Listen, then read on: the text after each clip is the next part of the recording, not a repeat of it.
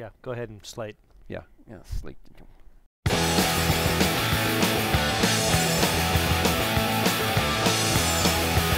And welcome, race fans, to today's Rowdy.com Big Three. Sitting with Buzz Cutler. My name is Bass Masters. We're talking the Auto Club 400 at the Auto Club Speedway, and a hell of a finish, Buzz Cutler. It was a hell of a finish, and it benefited Kevin Harvick more than anybody else. Let's hear from uh, Happy.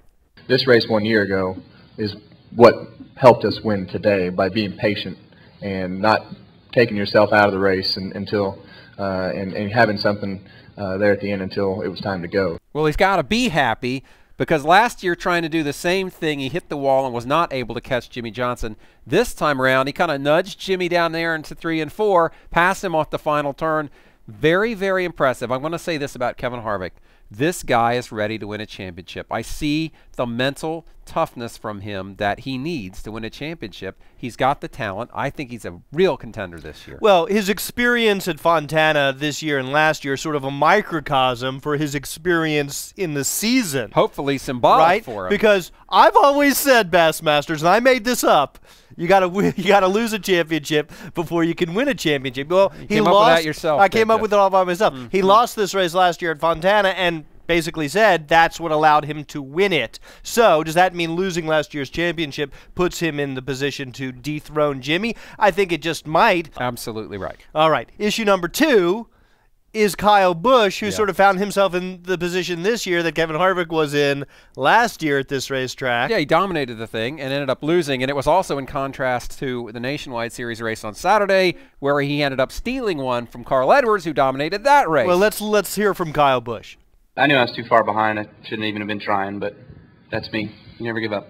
You know, we've often talked and we've sort of mocked this whole more mature Kyle Well, Busch we, thing we've because heard it said so many times. I know, I've and for so said many- myself so many so times. many seasons, you know, so many years in a row, and we've just like, oh God, yeah, the mature Kyle Busch, sure, like that'll really happen.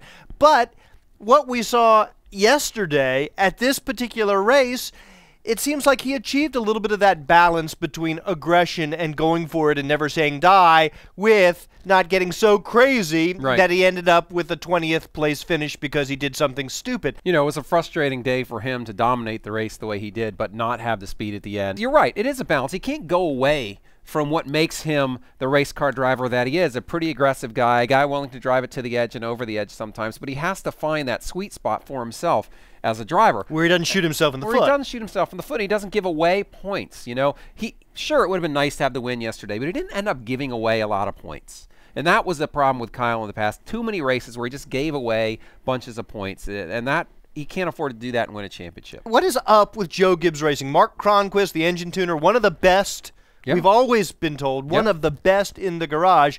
Yet Joe Gibbs Racing is having all kinds of engine woes this season. Well, this is the third one that's blown up. Uh, Kyle had one go, Joey had one go, and now Denny had one go. Of course, they've had some engine changes in, in anticipation of trying to avoid a blow up. Right. Listen to what Denny said. For some reason, our, our stuff is just struggling to keep it all together. I don't know why. I don't know what's changed really in off season. I, I don't think that we're going outside the box by any means. I think we're just maybe having some parts failures.